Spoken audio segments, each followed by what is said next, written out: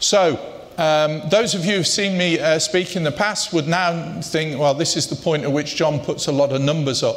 But I've changed post pandemic, okay? And we're going to do it today uh, with pictures, okay? So many of you, uh, and there are a number of uh, young people uh, in the room, that's people who are looking forward to their 50th birthday, uh, haven't experienced inflation uh, in the past. Uh, you think you've experienced inflation, uh, but you haven't. And now you're just for about the first time in your life uh, going to experience inflation uh, which is above 2%. Uh, there are a number of people in this room who think that inflation is above 2%. It's an absolute tragedy and the world is going to end. By the end of this year, we're going to be looking at inflation uh, in the United Kingdom around 10%, and we see that inflation uh, across the globe. Okay? Uh, inflation, interestingly, that is, being that is being driven by cost pressures, not demand dragging uh, prices up. So what we see is uh, fractures in global supply chains increasing our costs, uh, input costs going up, be that uh, fuel costs, uh, be that food costs, uh, driving prices aggressively in a way that they haven't in the past. Okay?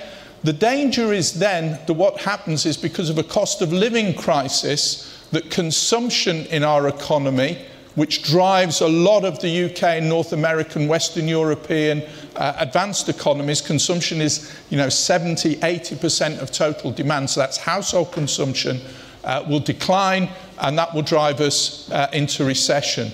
Um, I'm a little bit, um, any of you who've heard me speak recently, um, I'm not so sure that the, the, the, the, the dooms sayers who are, who are suggesting that we will go uh, into recession at the end of this year have actually got it right. I think what we'll see is a significant reduction uh, in growth. Whether we get two, two consecutive quarters of negative growth, uh, I'm not so sure about that.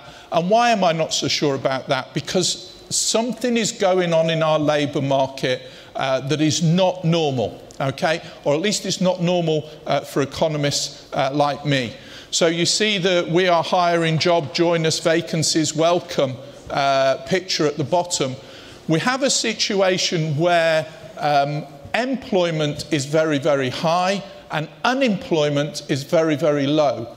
And those of you who, and, th and this is true of many, many uh, advanced economies. So we have a situation where labour markets are incredibly tight. Okay? Now, in the past, that would have led to an acceleration in wages as the power of trade unions increased and they used that power and tight labour markets to go in and ask for significant increases uh, in wages. Okay?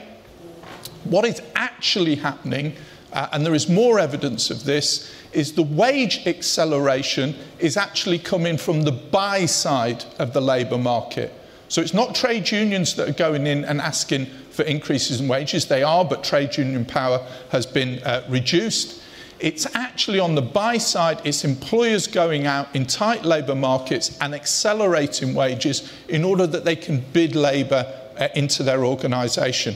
So if wages accelerate, that's what's likely uh, to drive it.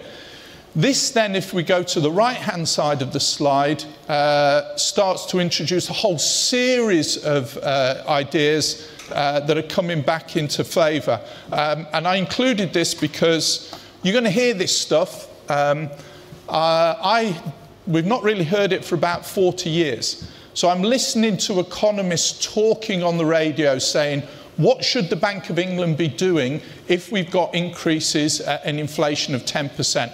Because remember, the Bank of England is charged with keeping inflation at or around 2%. In fact, if it's plus or minus uh, 1% around their 2% target, they have to write a letter to the Chancellor explaining what they're doing about it and why uh, they think inflation will come back in to those bounds. Okay? So obviously we're well outside those bounds, and then the economists come on the radio and they say the Bank of England should start to increase interest rates because it has to influence expectations.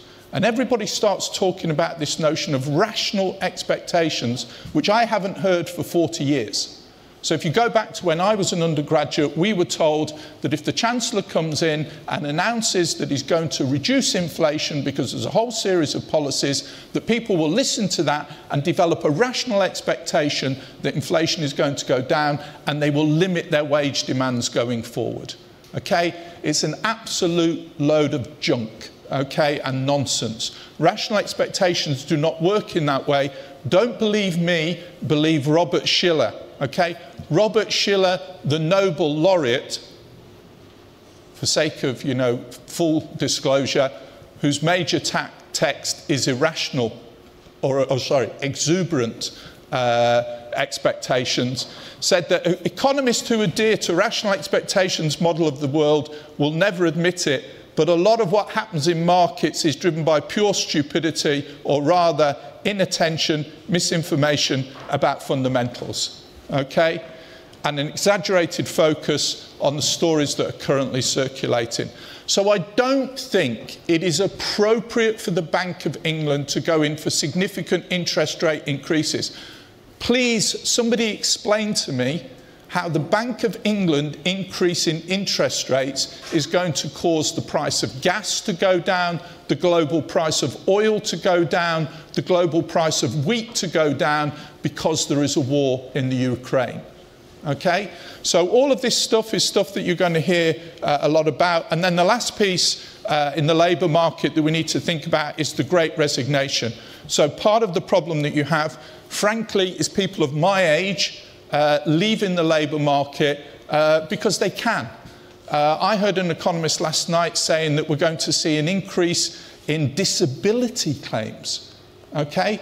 Uh, because people are leaving the labour market and they're going to claim benefits in order to fund it. I don't think that that's the case. I think what we're seeing is the end, the tail end of the defined benefits pension schemes. Okay, so essentially, you've got people of my age and slightly younger. I'll be 60 at my next birthday. Okay. Um, who now have defined benefits pension schemes, who've looked at the, the um, two years of the pandemic and said, enough, I'm cashing my pension in, I can afford to retire, and I'm going. And if you look at the statistics, it's the 55 to 60 year olds, okay, they're about 250,000, 260,000 of the 420,000 people who have exited the labour market post pandemic in the United Kingdom. Okay. So we've got a lot of stuff that's going on in the background that you guys, you guys have to work in that environment, okay? And of course, as we get cost of living crisis, as we get the threat of inflation, the danger is in the sustainability context that the pressure comes on you guys to up the importance of price, to up the importance of reducing costs uh, in your supply chain, and to what extent does that operate uh, against the sustainability agenda in the minds uh, of, the, of the uneducated as far as this is concerned.